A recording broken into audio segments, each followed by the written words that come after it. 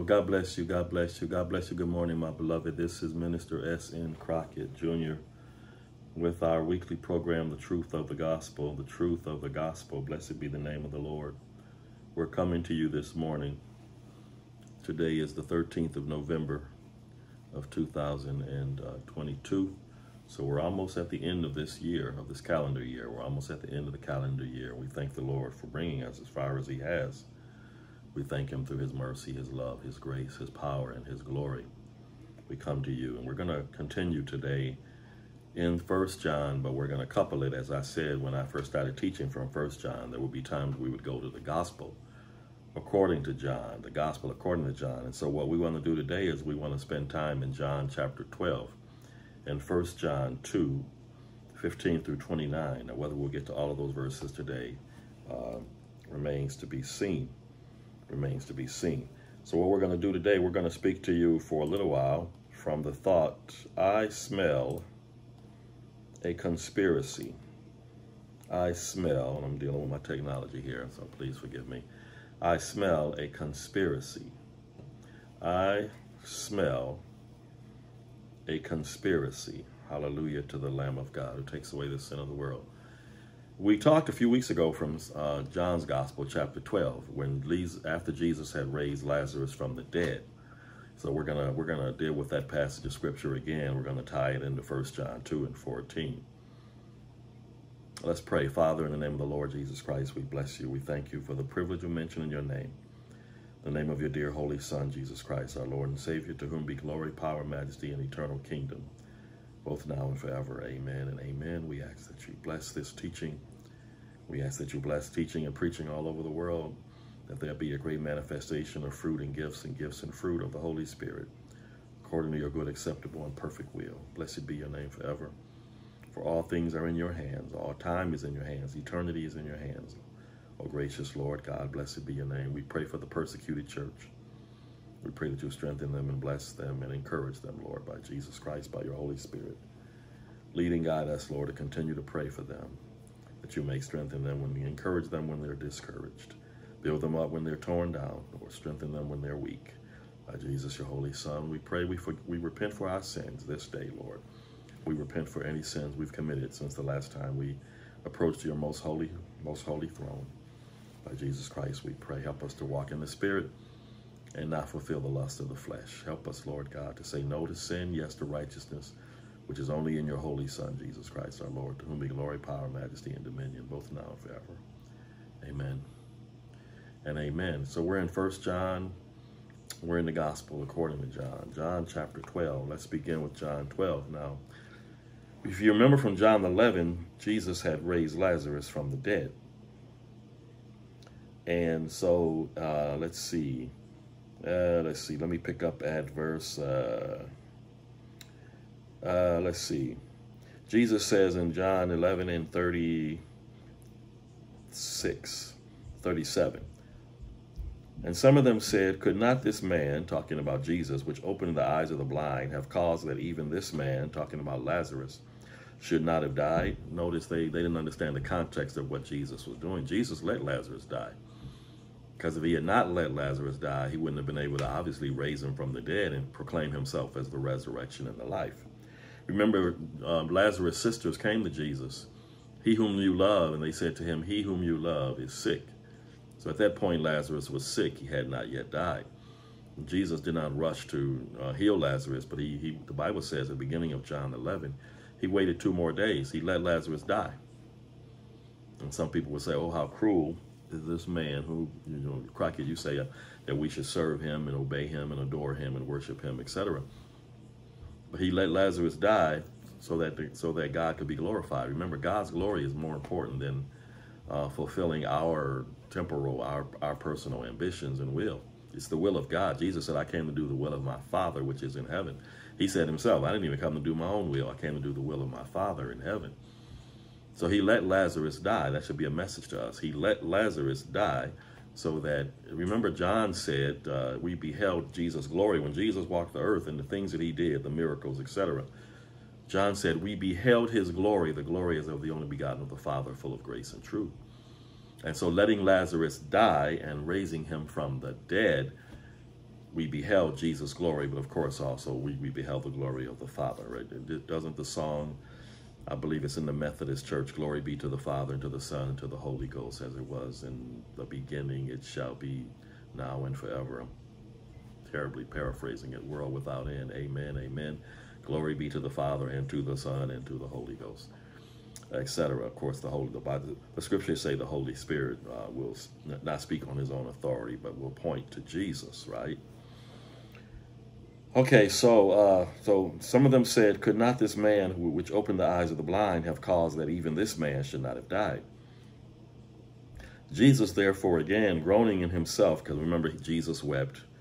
He cometh to the grave. There was a cave, and a stone lay upon it. That was a common form of burial during that day not like we do today with six feet under, etc. More, more like what they do like in Louisiana because of the water table in Louisiana. They, they bury people above ground, etc. Similar to that. Jesus said, Take ye away the stone. Martha, the sister of him that was dead, saith unto him, Lord, by this time he stinketh, for he hath been dead four days. Jesus saith unto her, Said I not unto thee that if thou wouldest believe, thou shouldest see the glory of God? See that? If you would believe, I'm gonna show I'm gonna show you the glory of God. And not in the resurrection at the last day, because remember Martha made that point of Mary, one of them made that point previous in John 11.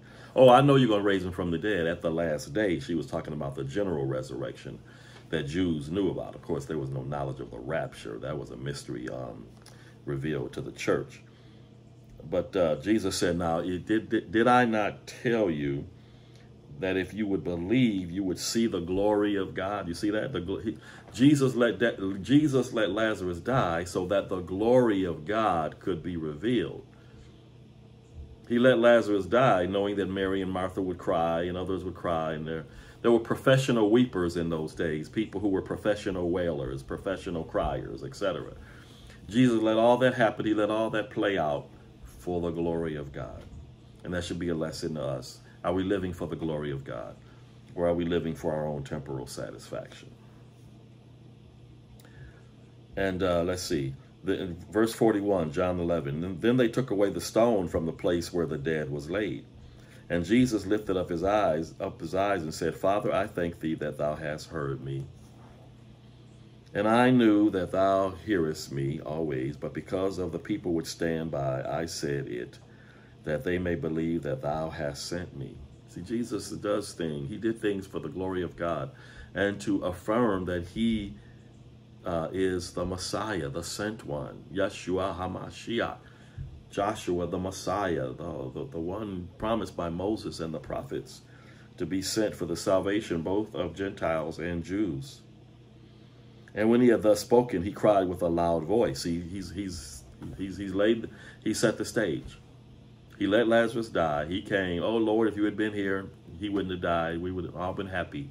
And Jesus was like, that no, no, I'm, I'm here to represent the Father. I'm, I'm here for the glory of God. Right? And he prayed to the Father. He said, Father, I'm not praying because I'm doubting or anything. I'm praying to, to strengthen the faith of those around me. And when he had thus spoken, he cried with a loud voice, Hallelujah. Doesn't the Bible say in First Thessalonians, the Lord himself shall descend from heaven with a shout? Glory to God. This right here, the resurrection of Lazarus from the dead, this is like a type, a foreshadowing of the resurrection of believers.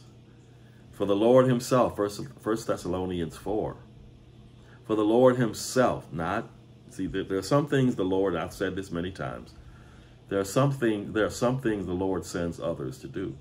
He sends prophets and apostles and pastors, evangelists, teachers, etc.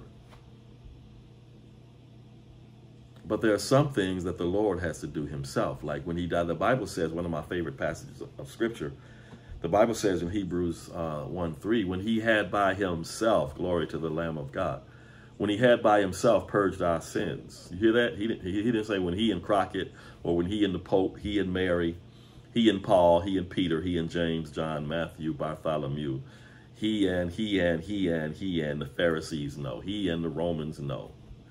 When he had by himself, glory to the Lamb of God, when he had by himself purged our sins, He sat down at the right hand of the majesty on high. There's some things the Lord has to do himself because only because he's the only one qualified to do it. Go to Revelation 5 when you get a chance. And, and John wept much because nobody was found worthy to open the seven sealed scroll, scroll which was a title deed to the, the earth, to the kingdom, etc.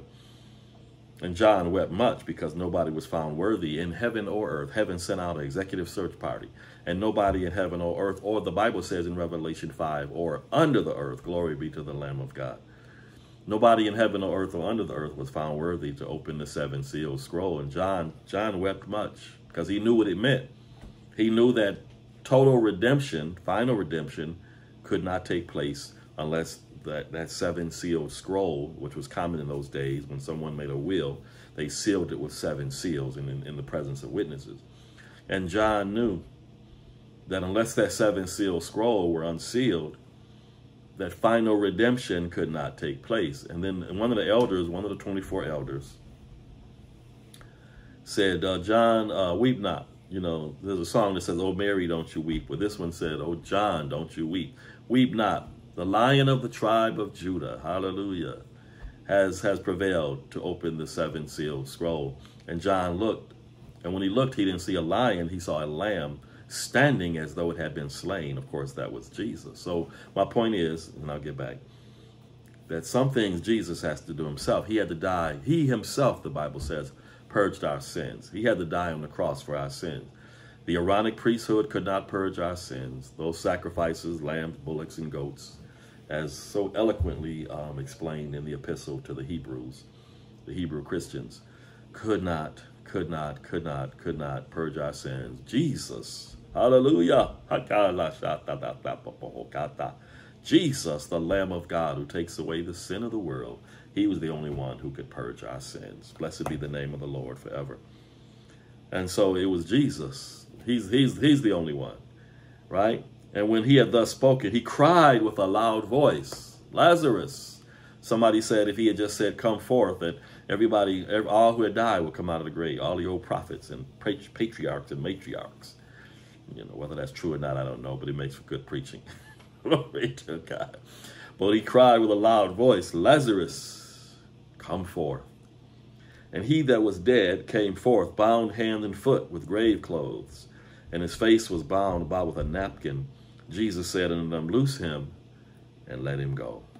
Then many of the Jews which came to Mary and had seen the things which Jesus did, listen, believed on him. See, what he did was for the glory of the, of the Father. But in glorifying the Father, the Father glorified the Son. And many of the Jews, which had uh, come to weep with Mary and, and Martha, and, uh, and, and when they had seen the things that Jesus did, they believed on him. Ah, but you had your you're always going to have your snitches. Glory to God. They say snitches get stitches. You're going to always have your snitches. You're going to always have your snitches. But some of them went their ways to the Pharisees and told them what things Jesus had done. Little tattletale, little, well, I'm not going to use the language I want to use. Little snitches and told them what things Jesus had done. Then gathered the chief priests and Pharisees a council and said, What do we? For this man doeth many miracles. If we let him alone, all men will believe on him. See, we got a scam going here. And if, if we let him alone, the people who are the victims of our scam, they, they, we're, gonna, we're not going to have our scam anymore. If we let him alone, all men will believe on him, and the Romans will come and take away our place and nation. Because the Romans pretty much left you alone they let you worship your gods and, you know, they let you do what you wanted to do. long as you didn't offend the Romans, long as you didn't blaspheme the Caesars and, you know, long they, they left you alone. You were under their rule. Palestine was under their rule. They didn't mess with you. It was called the Pax Romana, the, you know, the Roman peace. You know, they could be brutal, but on the other side of the coin, they, they pretty much left you alone as long as you didn't, you know, mess up their, their scam that they, that they had going. If we let if we let Jesus alone, all men will believe on him, and the Romans shall come and take away both our place and nation. And one of them, named Caiaphas, being the high priest that year, said unto them, You know nothing at all. You knuckleheads, you know nothing at all, right? nor consider that it is expedient for us that one man should die for the people, and that the whole nation perish not. And this spake he not of himself, but being high priest that year, he prophesied. You know, God can use believers and unbelievers. He can use unbelievers to, to prophesy, to speak his will. Here's Caiaphas. He was a part of the Jewish nation, but he was, uh, you know, he was uh, he was part of the people who were in opposition to Jesus. He prophesied that Jesus should die for that nation, and not for that nation only, but that also he should gather together in one the children of God that were scattered abroad, the diaspora, the scattering abroad of the of the Jews. Then from that day forth they took counsel together to put Jesus to death. Jesus therefore walked no more among the openly among the Jews, but went thence into a country near to the wilderness, into a city called Ephraim, uh, and there continued with his disciples. And the Jews' Passover was nigh at hand. And many went out of the country up to Jerusalem before the Passover to purify themselves. Then sought they then sought they for Jesus and spake among themselves as they stood in the temple. What think ye that he would come that he would not come to the feast?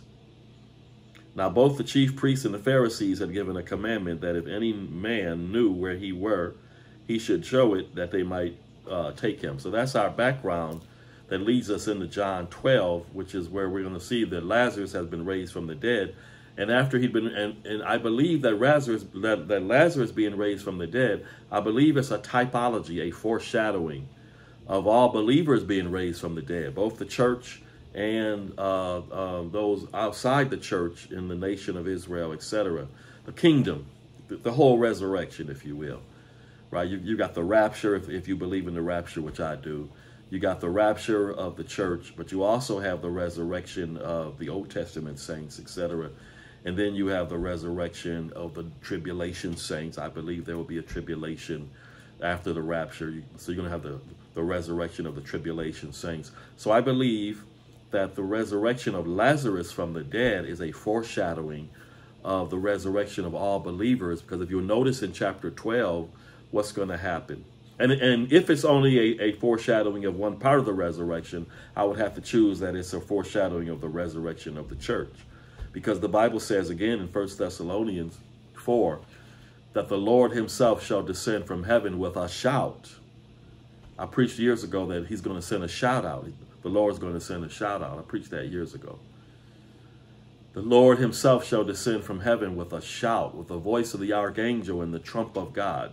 And the dead in Christ, you hear that? The dead in Christ, the dead in Christ, the dead in Christ shall rise first. And then we which are we which are, are alive and remain, Paul said, shall be caught up together with them in the clouds to meet the Lord in the air. And so shall we ever be with the Lord. That's that's a prophecy of the resurrection of the church. And so if you look right before Jesus raised Lazarus from the dead, he spoke with a loud voice, Lazarus, come forth. So that is, I believe, and I'm not being dogmatic about it, but I believe that's a foreshadowing of the resurrection, probably of the church, but if not just of the church, the resurrection of believers. Now we get to chapter 12, where, where Lazarus, excuse me, had been raised from the dead. And in joy and jubilation, there was a feast then Jesus, this is John 12, then Jesus six days before the Passover came to Bethany, where Lazarus was, which had been dead, whom he raised from the dead. There they made him a supper. Now, who, who was him? Is it, it, did they make the supper for Jesus, or did they make the supper for Lazarus? I think they made it for Lazarus. They were in such jubilation that their brother had been raised from the dead. I, I think that, that, that the him here is a reference. It's like a direct object uh, pronoun, right? Him. There they made, I'm sorry, indirect object pronoun, right? There they made him a supper, and Martha served, but Lazarus was one of them that sat at the table with him.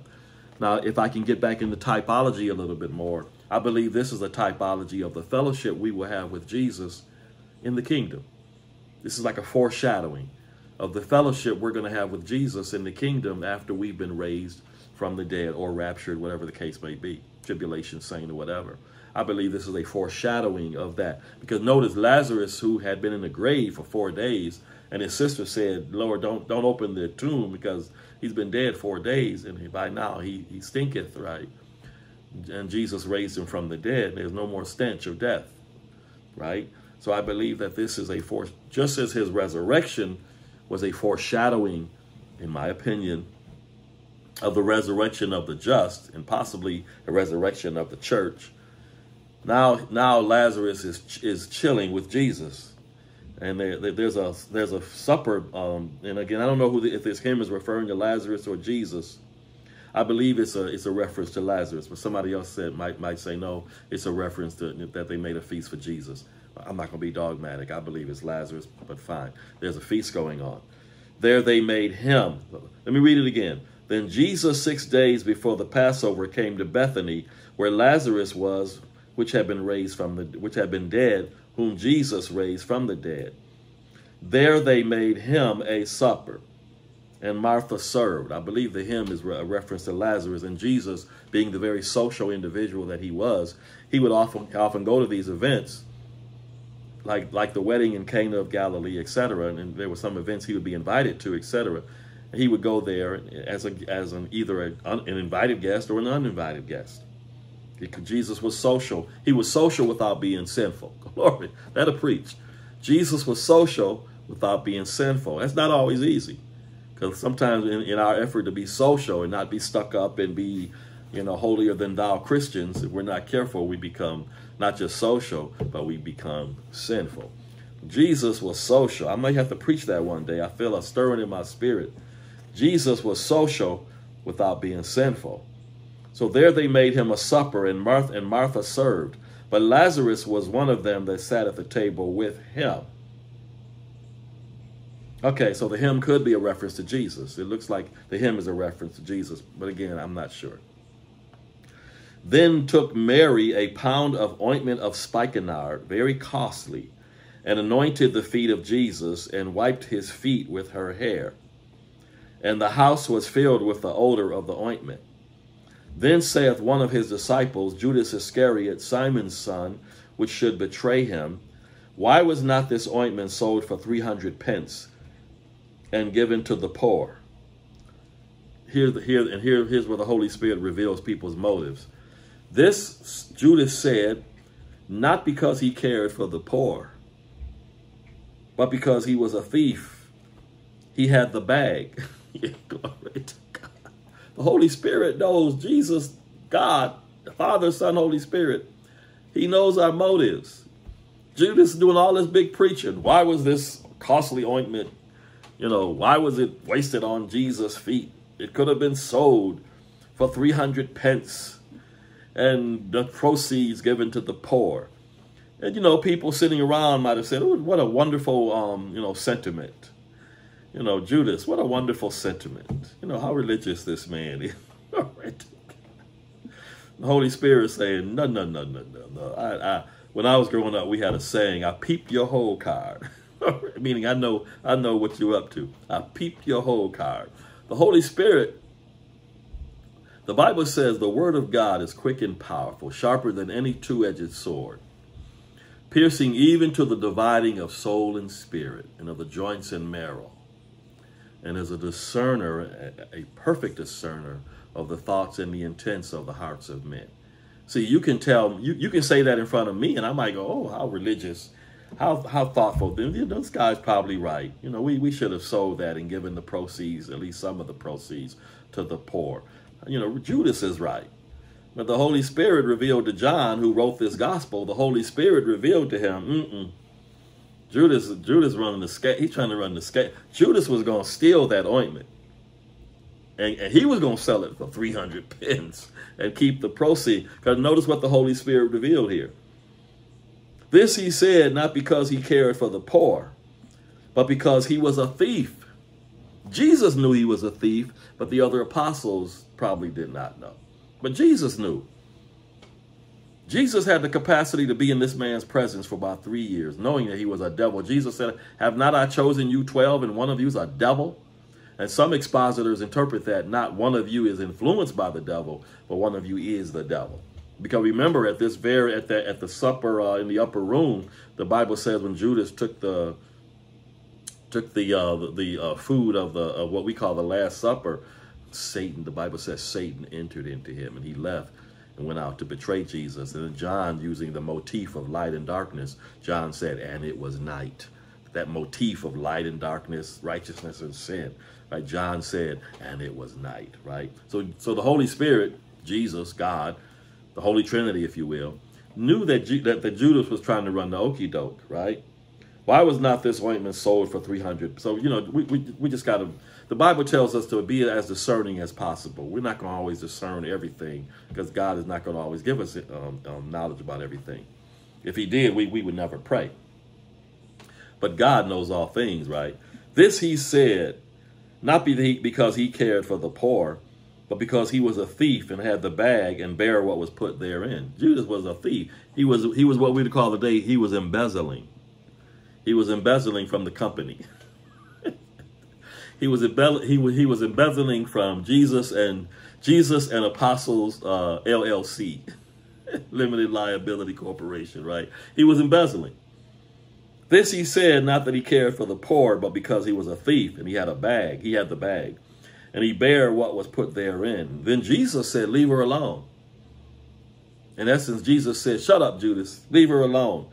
Against the day of my burying has she kept this. In other words, she's anointed my body for my burial. For the poor you always have with you, but me you do not always have. Now here we're going to get to the crux of where I want to get to. Much people of the Jews therefore knew that he was there. And they came not for Jesus' sake only, this is where we talked a few weeks ago about how if you want to be an influencer, I talked about how many people, how many followers are on Twitter and Facebook and Instagram, people like Taylor Swift have and Barack Obama and, you know, famous celebrities, Migos, etc., and, you know, uh, uh, comfort to their family for their loss. Uh, but if you want to be an influencer, notice Lazarus, who'd been raised from the dead, it said the, the people came to the feast not just to see Jesus, but that they might also see Lazarus, whom Jesus had raised from the dead.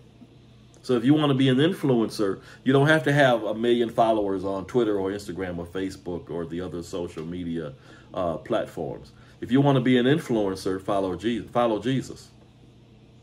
And by following Jesus, you'll be an influence influencer. You won't be an influencer in the way that Taylor Swift is or the way that uh, you know other entertainers are, or politicians, or you know uh, Joe Biden or his wife, or you know Congressperson AOC, etc., Nancy Pelosi, or the uh, or your athletes, you know, who may have two hundred thousand followers on Facebook and uh, eight hundred thousand followers on uh, Instagram and Twitter and other social media outlets, etc.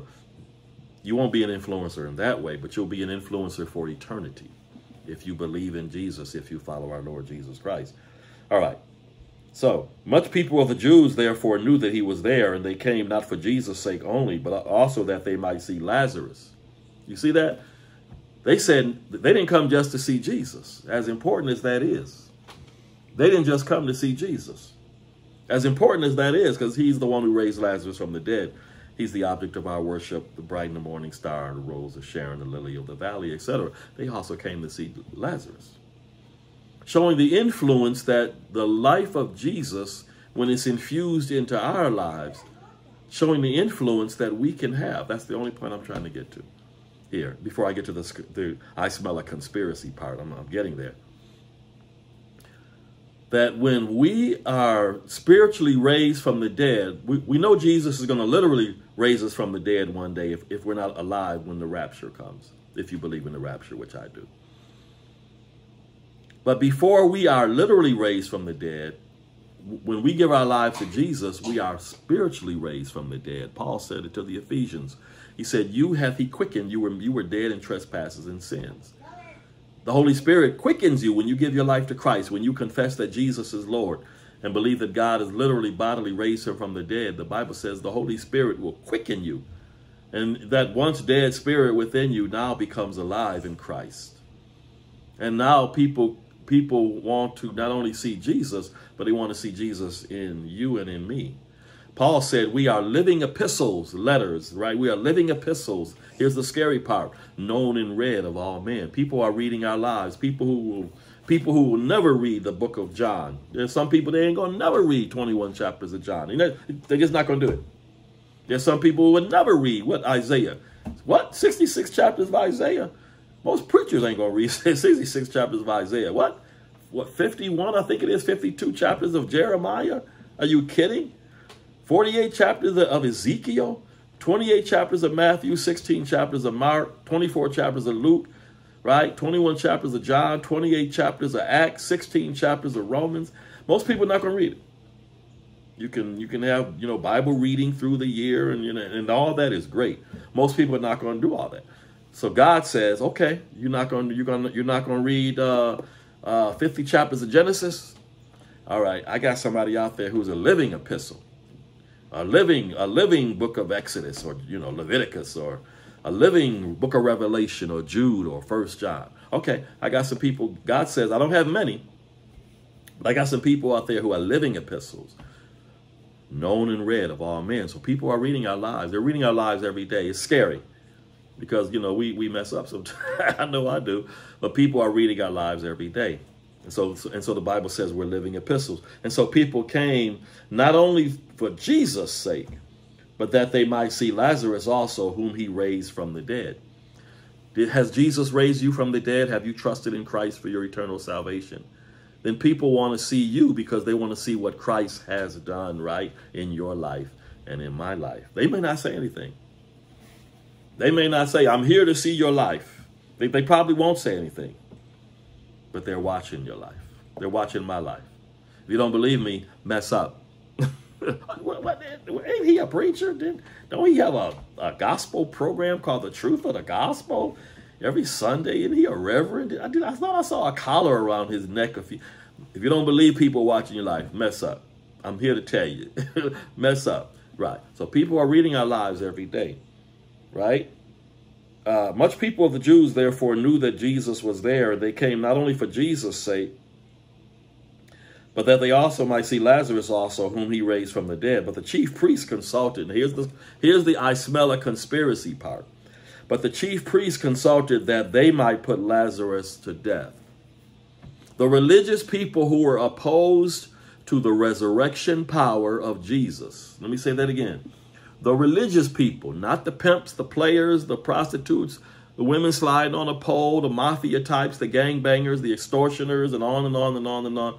No, the religious people who were opposed to the resurrection power of Jesus being in Lazarus' life. Let me say that again because it has application for us. The religious people, not the pimp, not the prostitute. Remember, in one case in Luke, there was a prostitute who, who, who poured ointment on Jesus' feet and washed his feet with her hair and, and dried, you know, and, and with her. And uh, no, it what? No, it, no, no. Those are the ones you have to worry about here. Not the pimp, not the prostitute, the player, not the mafia type. You got to worry about these people for other things in some cases, but not the mafia type, not the extortioner, not the tax cheat, not the gang banger, not the crip, the blood, the Blackstone Ranger, you know, the the the the 49er, you know, and other, you know, gangs, etc., the, the gangster disciple and all that kind of stuff. Mm -mm. The, the, you know, La, uh, Trece, So Trece, you know, the Mexican Mafia, La M, right? Salvatrucha and all the gangs out of Latin America. No. Here, the religious people who who were intimidated and offended because the resurrection power of Jesus you hear that? Before this, before that, they wait, they weren't giving a stud about Lazarus. They weren't studying La well, Lazarus. Eh, eh, eh, that's not Mary and Martha, brother. Oh, what about him? So what? But now that the resurrection power of Jesus, hallelujah. Remember, Jesus said with a loud voice, Lazarus, come forth. So now that the resurrection power of Jesus, just like when you were born again, Jesus spoke to your heart revealed himself by the Holy Spirit, then you made a decision. It was the will of God now met with your will, and your will said, I believe that Jesus is Lord. And when you said, I believe that Jesus is Lord, and I believe that, that, that, that the Father has raised him from the dead, when you made that decision, the resurrection of power, the resurrection power of Jesus truly began to operate in your life, as in my life in May, May of 1979. The chief priests consulted that they might put Lazarus also to death because that by reason of him, him, I know him here is Lazarus, by reason of him, many of the Jews went away and believed on Jesus. So part of the part of the conspiracy is religious people who don't really believe in the resurrection power of Jesus Christ. Paul talked about him in, um, oh, I believe it was the uh, one of the epistles to Timothy. I believe it was one of the epistles to, I know it's one of the epistles to Timothy. I don't know the exact passage, the exact chapter and verse. But Paul talked about those who have a form of godliness, but they deny the power thereof. They have a form of godliness. They have outward righteousness. Uh, they, they, they, they are self-righteous.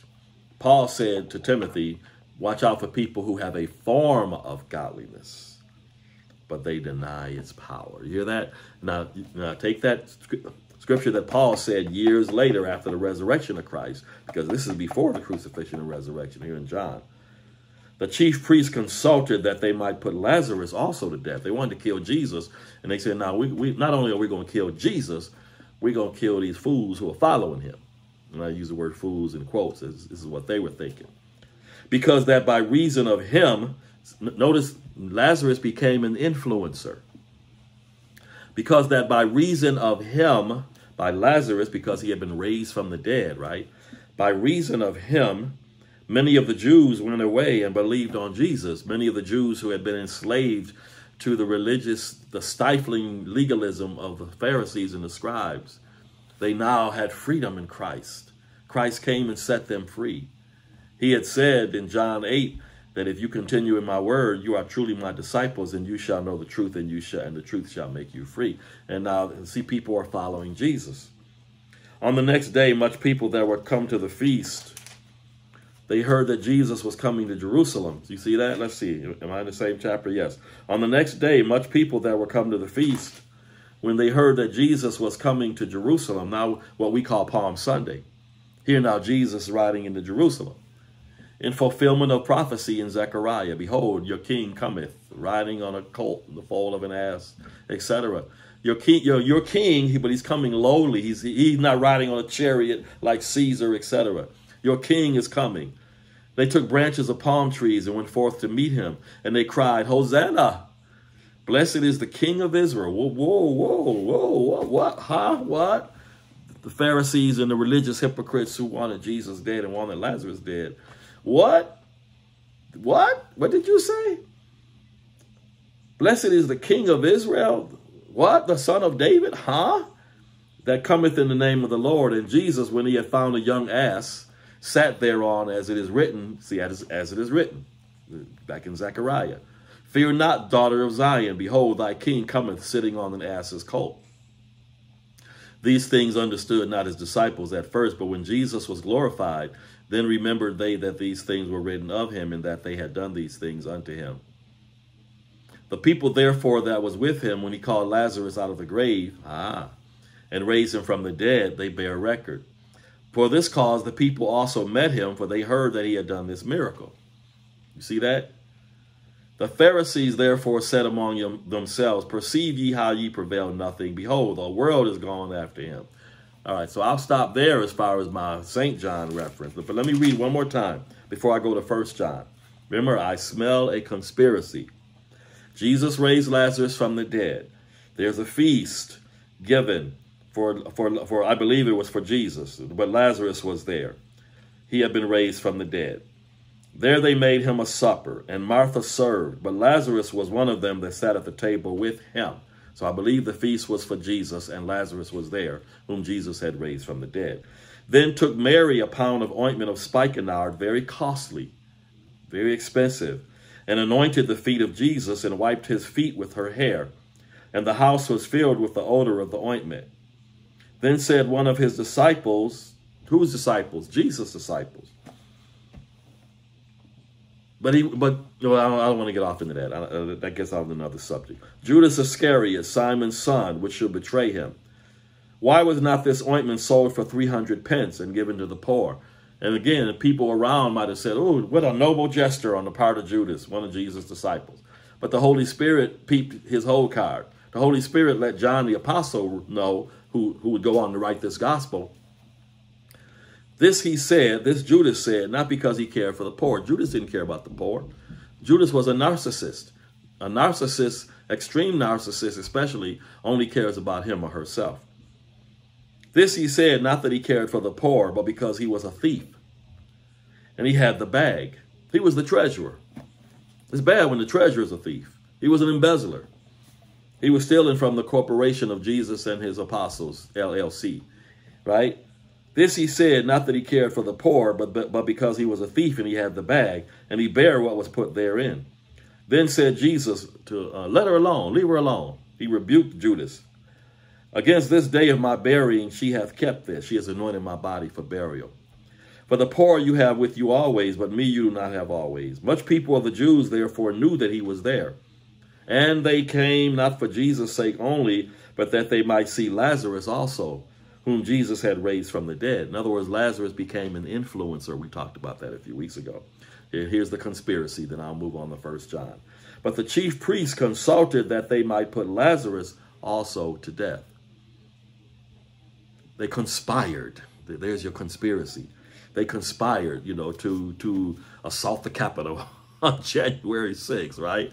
They conspired to put Lazarus to death because that by reason of him, because Lazarus became an influencer, because by reason of him, and hopefully by reason of you and by reason of me, hopefully we're influencers. Uh, Paul said, living, we're living epistles, known and read of all men. People are reading our lives. That, that's, that's, that should scare us. And uh, it should also cause us to want to walk uprightly before the Lord and before people, both saved and unsaved. But that they might see Lazarus also, whom he raised from the dead. But the chief priest consulted to put Lazarus to death, because that by reason of him many of the Jews went away and believed on Jesus. I smell a conspiracy. And it wasn't it wasn't the pimp, the prostitute, the mafia type, the gangbanger, the woman sliding down the pole, etc. The tax cheat, the extortioner, the publican, it, the person would have been called in the days of the Romans, it was the religious people, and, and religious people who, who love Jesus are great. But when you have religious people who don't really believe in the resurrection power of Jesus, and many are in churches, you got the visible church made up of believers, but it's also made up of unbelievers. The invisible church, the ecclesia, those who've been baptized by the Holy Spirit into the body of Christ, that's the invisible church. That's made up of true believers. But you have a visible church on earth, whether it be Protestant or Catholic or whatever, you have an you, you have a visible church on earth that, that's made up of, of believers, but it's also made up of unbelievers. And unbelievers who don't believe in the res they're, they're there for their own reasons, but they don't believe in the res they have for one thing, they have not experienced the resurrection of power of Jesus in their lives. And they don't believe in the resurrection power of Christ. Paul said they have a form of godliness they have an outward form of godliness. Jesus talked about them in Matthew 23. They're like graves. Graves look beautiful. Tombs look beautiful on the outside. Sepulchres, if I, if I can use a biblical word. They look beautiful on the outside, but when you go inside the tomb, it's full of extortion and dead men's bones. It's full of it's full of corruption, especially the tomb that's been there for a while. If you were to go to the tomb of a person who's been dead 50 or 100 years, there's nothing there but bones. And, and Jesus said that's how the religious hypocrites, the scribes, the Pharisees, etc.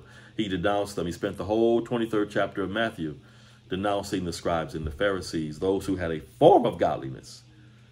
They, they, they, they, they claimed to love the law of Moses, but they had created their own man-made traditions that they felt uh, justified uh, in superseding the law of Moses. The law that God gave to Moses at Sinai. These people had risen up in, the, in what we call the intertestamental period between uh, that 400 year period between uh, Malachi, what we see as the last book of the Old Testament, Malachi, and in Matthew, there was about a 400 year period, the intertestamental period. And these scribes and Pharisees, etc., had risen up and, uh, and had created what's called the Mishnah, their own righteousness. Paul talked about it in Romans. They went about to establish their own righteousness, and they have not submitted themselves to the righteousness of God, which is through Jesus Christ, his dear Son. Now let's go to First John. I'm not going to do the whole thing today because I've already used almost an hour of my time. Let's go to First John and just, just touch on First John 2, beginning at verse 15. John says, this is the same John who wrote the gospel, Now this is the this is the first epistle. He wrote the gospel, three epistles, and the book of the Revelation. So he wrote five books of the 27 books of the New Testament. So he says uh, in First John 2.15, he says, John says, do not love the world, nor the things that are in the world. If anyone loves the world, the love of the Father is not in him. Well, when he says don't love the world, he's not saying don't love people. He's saying don't love the sinful things of the world that will compromise your testimony and corrupt you, etc., right? For all that is in the world, the lust of the flesh, the lust of the eyes, and the pride of life. These are the three, these are the three things the enemy used to trip up Eve in the garden. If you go back and read in Genesis chapter 3, when, when, when uh, the serpent tripped up Eve, he tripped her up in these three areas. The lust of the flesh, Eve looked at the tree of the knowledge of good and evil. She looked at it and saw that it was good for food and it was good to make one wise. So you had the lust of the flesh, the lust of the eyes, and the pride of life. Eve, again, go back to Genesis 3. Eve was deceived. Adam sinned willfully, but Eve was deceived. She even said herself, the devil, the serpent, I think she said, deceived me and I ate. Paul even said in, in one of his epistles, uh, he said Eve was deceived. So Eve was deceived. Adam was not deceived. Adam, Adam ate willfully. Adam sinned willfully. Eve was deceived and Adam sinned willfully. Those are basically the two ways we can sin. You can be deceived or you can sin willfully. You can you can say, I know it's wrong, I'm gonna do it anyway. And then and then when you take those two categories of sin and then you put these other three like subcategories in, the lust of the flesh, the lust of the and it's not always just sex. It can include other things. The lust of the flesh, the lust of the eyes, what we see, because we're constantly bombarded by what we see, especially in this digital uh, ultra high definition age that we live. The lust of the flesh. Think of David on the rooftop. That was really the equivalent of, of, of, of, what, of, what, of what we today would call pornography.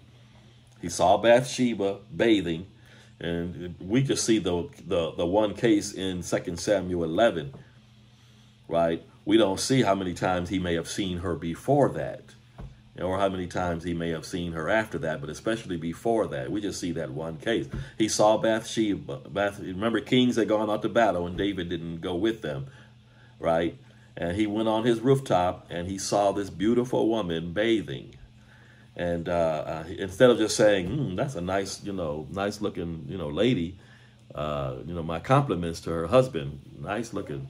He was the king. He had power. And he said, I want her you know, I want her. And he inquired about her, and, and his people told him, his subordinates told him, that is the wife of Uriah the Hittite. That should have ended it right there. David said, mm, mm, mm, mm, mm, mm, mm. She's a bad mama jamma, just as fine as she can be. And he and he carried it out to, to its tragic conclusion. The lust of the eyes, the lust of the flesh, pride, the pride of life, pride, pride, the pride of life. John said, These things are not of the Father, they are of the world. And the world is passing away. So anybody who's engaged in these things is having fun now. Can't say I haven't had my share, right? Anybody engaging in these things, you're having fun now, but these things are passing away. As the old people would say, only what you do for Christ will last, and that is so true. These things are passing away. And those people who would live this lifestyle, they're passing away also. And if they don't repent and give their lives to Jesus Christ, they will be lost for eternity, right? These things are not of the Father, but of the world. And the world is passing away. And the lust of it. Watch this. And then John says, he who does the will of God abides forever. Now, now I'm going to get into the part of the conspiracy in First John. I'm not going to get into the whole thing, but I'll, I'll, I'll continue it next week. John says, little children, it is the last hour. And when, and, and when, and when, the, when the Bible speaks prophetically the last hour, it's not talking about 60 minutes. It's talking about a time period. Because John said this 2,000 years ago, and we are still in the last hour.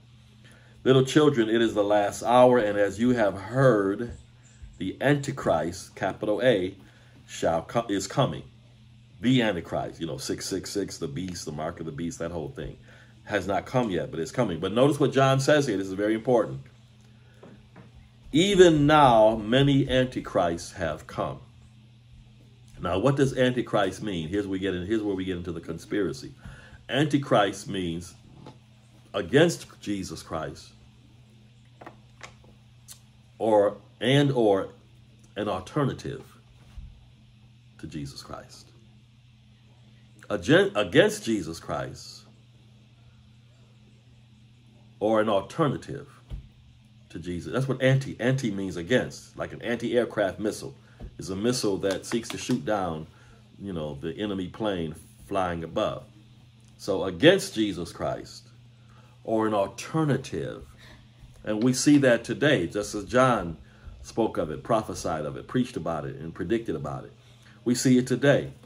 Against Christ. The, the, world is against the church. I'm talking about the true church, the, the, the invisible church. The world is against the church.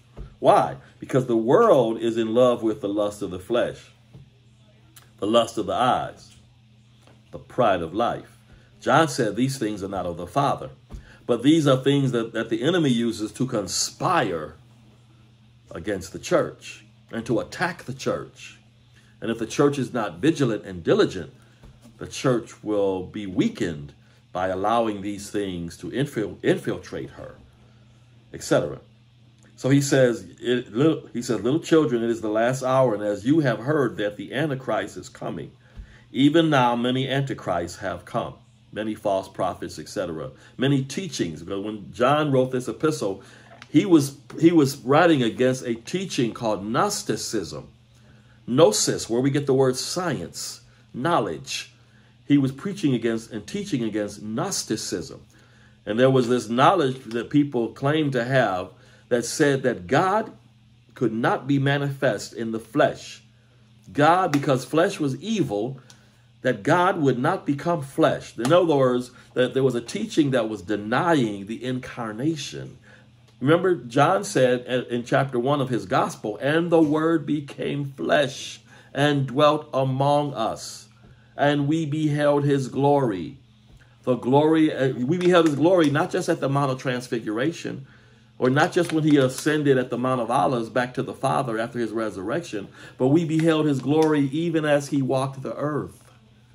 Even as he changed, changed water to wine and raised Lazarus from the dead and fed thousands with fish and, and, uh, and um, um, uh, um, um, um you know, with, with fish and, and, and, and water, etc. Uh, every time he did these things, John said, we beheld his glory as of the only begotten of the Father. Uh, fish and bread, I should have said. Yes. We beheld the glory of the Father, full of grace and truth. So, so when we beheld the glory of Jesus, it wasn't just the glory at the Mount of Transfiguration, although that was true also. Peter mentioned that in his second epistle. He said, you know, we, we, we saw his glory at the Mount of Transfiguration, right? And we have a word of prophecy that bears witness with it, etc. But, but, but when John said in his first chapter of his gospel, we beheld his glory, he was talking about Jesus walking the earth, full of grace and truth, right? No man, even Nicodemus said, no man can do the things that you do and God not be with him etc. There were even about four or five miracles that Jesus performed that are called Messiah miracles, miracles that nobody had ever done. Even the great prophets of the Old Testament, especially Elijah and Elisha, the great miracle working prophets of the Old Testament, there were certain miracles that even they didn't perform. Especially opening eyes of one who had been born blind. Nobody had ever opened the eyes of one who had been born blind. Jesus himself said, If I had not come and done the works that nobody has ever done, then you wouldn't you wouldn't be as accountable for your sins. But now I've come and done those things, and you still have not believed. He said that after he opened the eyes of the blind boy in John chapter 9. And, and he, he, remember when Jesus performed miracles in John's gospel, they were literal miracles, but they were meant to teach eternal spiritual truths. So when he opened the eyes of the blind boy in John 9, he was showing, he said, I'm the light of the world. If you follow me, you won't walk in, in blindness. And, and then he said, For this, I've, for judgment, I've come into the world that those who are blind may see, and those who think they see may remain blind. And the Pharisees, you know, the, the, the same people who wanted to put Lazarus to death and eventually succeeded in putting Jesus to death based on the will of God. They said, are, are we blind also? In other words, they were pricked by their own conscience. Are we blind also? Because he knew, they knew Jesus was throwing shade They knew Jesus was, was, was, was throwing shots, if you will, at them. Are we blind also? And Jesus said, if, yeah, yeah, yeah, yeah. I'm talking about y'all. Yeah, I'm talking about y'all. Yeah. Because it because if if if you had said that, that I am right and you had begun to follow me, I would have forgiven you for your sins. Remember, they blasphemed. They said this man's casting out devils by Beelzebub, the prince of devils, the lord of the flies. And when they said that, that was the that was the red line, if you will. That was because they because then they blasphemed the Holy Spirit. And Jesus said, Oh no, no, no, no, no, no, no. This shall no, and it was it was after that that Jesus really greatly decreased his public ministry and began to prepare his apostles uh, for his for his eventual uh, betrayal and crucifixion and resurrection. All right, so anyway, all right, so let me just touch on First John for a few more minutes and I'm gonna close. John said, Little children, it is the last hour. And as you have heard that the Antichrist is coming, even now many Antichrists have come. That spirit is in the world today. It's the spirit that says that Jesus is not the only way of salvation. That's the spirit of Antichrist. You got high profile politicians saying it. You got entertainers saying it. And see, people, we live in a, in a, in a wicked generation where people would rather listen to a 21 year old person not born again than a 61 or 71 year old person who's been walking with Jesus for 40, 50 years. That's a wicked generation. That's a wicked generation when you'd rather listen to a 21 year old entertainer and what they have to say than a 61 or 71 year old saint of God who's been walking with Jesus 40 or 50 years. And, and the 21 year old or the 25 or 30 year old can have a song uh, extolling the virtues of sin and, and, and, and can say things like, you know, born this way, I was born gay, and this is the way I'm going to be, and this is the way God made me. Or, or can extol the virtue of worshiping other gods as, a, as an alternative to, to worshiping the true and living God, the Father of our Lord Jesus Christ. It is the spirit of Antichrist. Or when a politician or a, a talk show host, a famous talk show host, can say that it's impossible for Jesus to only be the to, to be the only way of salvation. And then this, this talk show host influences hundreds of millions of people. That's the spirit of Antichrist against Christ, an alternative to Jesus Christ. It's the spirit of Antichrist. John said, even now there are many Antichrists. They have come by which we know it is the last hour. John says it's a sign that we're in the last days. And John said this 2,000 years ago. So when you speak prophetically, an hour can be hundreds or thousands of years. It's not 60 minutes. Not 60 minutes, excuse me. They went out from us, but they were not of us. For if they had been of us, they would have continued with us. John said, here's a sign. They, they didn't stick with us because they couldn't they, they couldn't live under the banner of, of, truth, of the truth of the gospel. You're not going to sit under John's ministry for a long time and and and not and, and be a and be, and be an apostate. You're going to eventually you, you're going to eventually have to separate yourself because John, remember now, John had been a superintendent in the church at Ephesus. God had sent some of his best preachers to Ephesus. John, Paul, Apollos, uh, uh, Priscilla and Aquila, or Aquila, however you want to pronounce it. Uh, Timothy had been a bishop in the Ephesian church. God has sent some of his, uh, his A-list of preachers to the Ephesian church. Remember, Ephesus, they worshiped Diana, the goddess of the Ephesian, the wicked city. People were making money building shrines to Diana, the goddess of the Ephesians. Remember, the silversmiths got mad at Paul and his companions and beat them, etc., because they because Paul and them were preaching and messing with their money. See, that's the spirit of Antichrist. Great is Diana, the goddess of the Ephesians. Great is Diana, the goddess of the Ephesians, when Paul came saying, No, Jesus Christ is Lord and God has raised him from the dead, right? He shall return. Now, Jesus is still here. He's seated at the right hand of the Father in glory. I don't know where Diana, the goddess of the Ephesians, is. She's gone.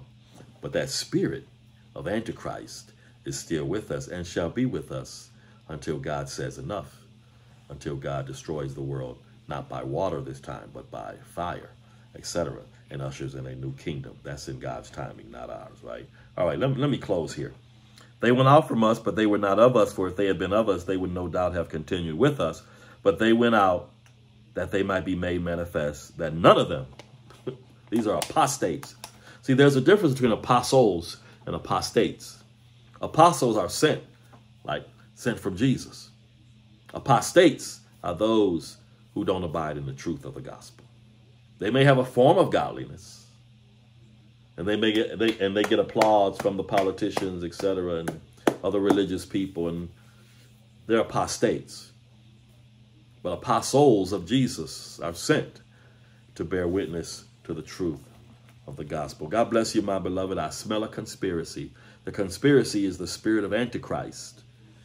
The spirit of Antichrist. The conspiracy is, is, is, is that spirit that wants to destroy your influence, like they want to destroy Lazarus. They want to destroy you. They want to destroy your influence because Jesus has spiritually raised you from the dead. And the devil knows you're going to be an influencer, not like a Taylor Swift or a Migos or other entertainers, NBA YoungBoy, Lil Baby. Uh, you know, uh, uh, you know, you won't have 200 million followers on social media, but you'll be an influence. I talked about the preacher who was preaching one day in a revival, and there was a boy sitting out in the audience, and the name of that boy was Billy Graham. You see that? So you can be an influencer, but the but the spirit of Antichrist is going to fight against you. Antichrist meaning against Christ. The world is against Jesus. The world is against Jesus. The world, and if everybody's patting you on the back, Reverend or whoever, if the whole world is patting you on the back, then that, that's a bad sign because the world is is, a, is antagonistic. I'm talking about to the, the the true church, the invisible church, the church of our Lord Jesus Christ, written in heaven. The world loves the visible church to a certain extent because the visible church supports all kind of perversion and abortion and gay marriage and homosexual this and that. Yeah, the yeah, the visible church supports that in many cases. Not in all, but in many cases. And the world oh, applauds the applauds the reverend, you know, who supports that. But the invisible church, the true believers in Jesus, know that that's wickedness.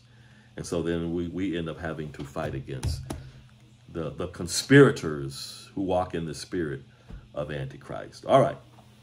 God bless you, my beloved. I pray that you've trusted in Jesus as your Lord and Savior. If you confess with your mouth that Jesus is Lord and believe in your heart that God has literally bodily raised him from the dead, you'll be saved.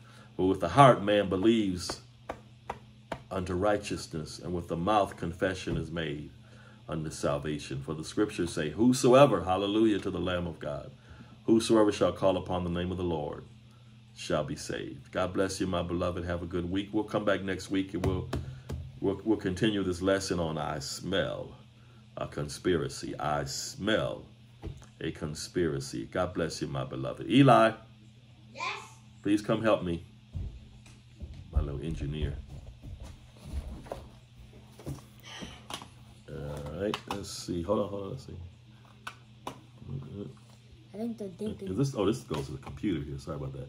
Go ahead, do it with your finger. Sorry about that. I'm, I'm all messed up, ain't I? You gotta remember the what you have to do with that. You're right, you're right, you're right. They see me, they, they see me like a lot of times. All right, hit the red button.